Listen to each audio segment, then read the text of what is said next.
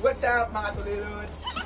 Welcome back again to my channel. If you're still new to this channel, just please click the subscribe button there and that bell so you can be updated for the future videos I'm going to upload.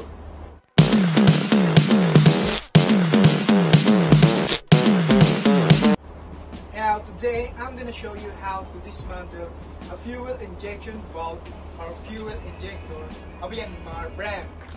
Now without further ado, let's go to the workshop and start dismantling that fuel injector. Come on!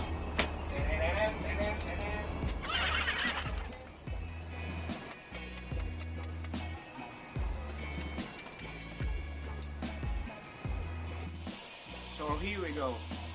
Using number 19 box wrench, I'm removing the cup nut of the of the pressure regulating of fuel injection valve. And again, using number 19, I will loosen up the lock nut of the pressure regulating valve. We have to loosen the pressure regulating valve for us to easily disassemble the fuel injection valve.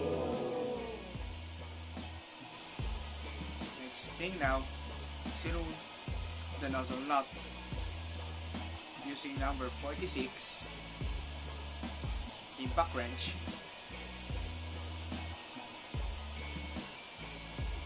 we will remove the nozzle nut.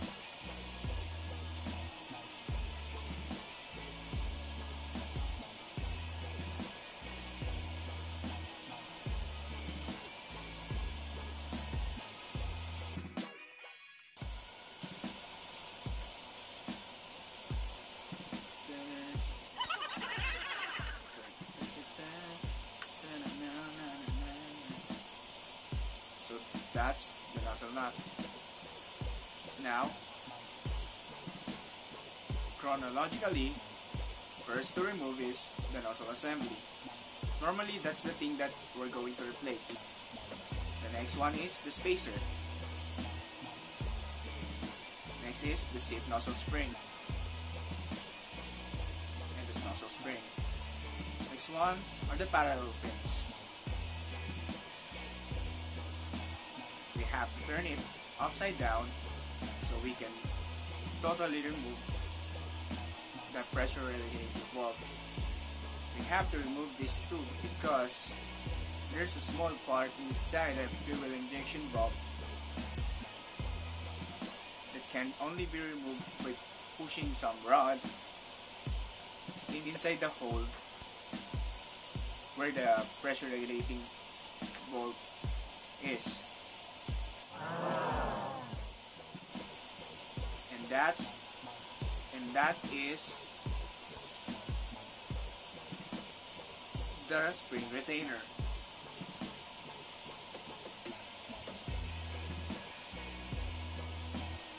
Now this is the piece where we have to clean all the parts of the fuel injection valve. The, the thing you see in this part is I am lapping the spacer and the seat by using the grinding compound. Do the the way how I do it is I use that number 8 motion because using the 8 motion can grind equally all the parts of the seat and the spacer. After that, we have to clean it with a cleansing oil and then blow some air to it.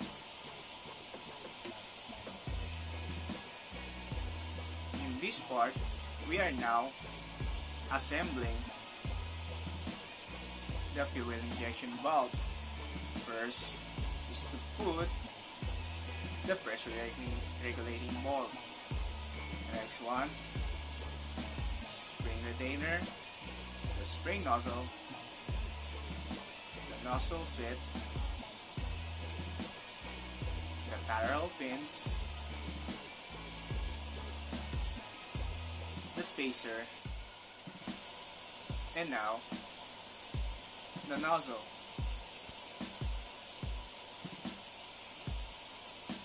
After that, the nozzle knob.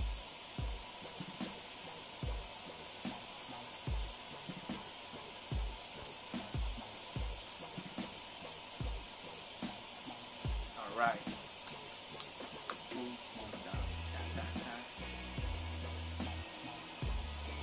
Now, we're going to type the nozzle nut.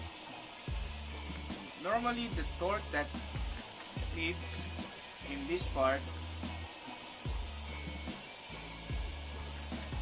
is about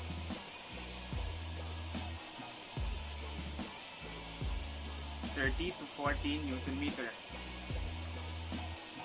But unfortunately, doing this just to show off and not have aw torque range.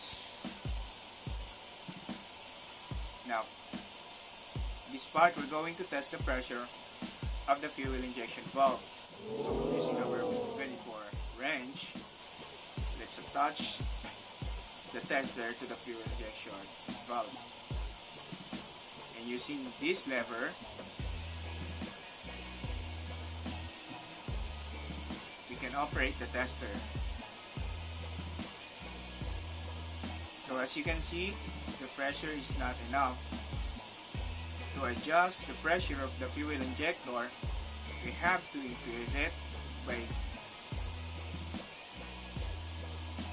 turning the pressure regulating bolt clockwise.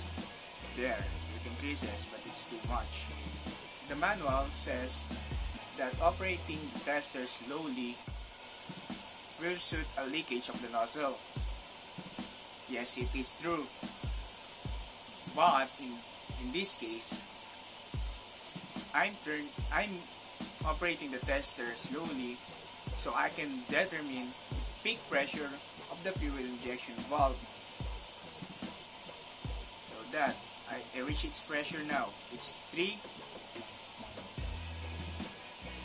3 4 megapascal or 34 megapascal.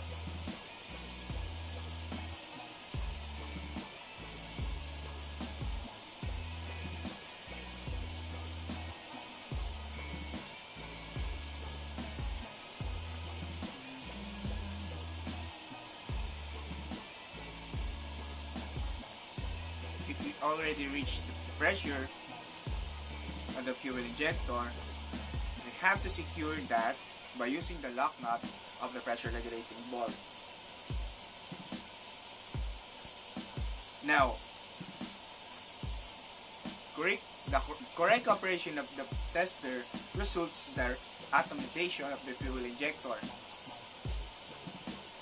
So the difference of operating slowly and faster is the oil drops from the nozzles.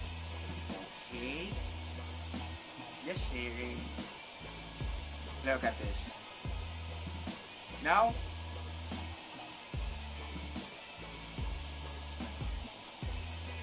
yeah, there. Great atomization, right?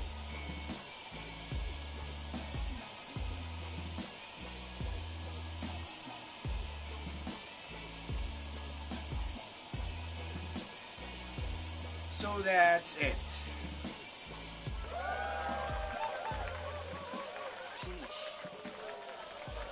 So there. I hope you guys get something in that video. And I'm looking forward for the next videos I'm going to make. And I hope you will be there. Because you hit that subscribe button again and that bell button. Thank you.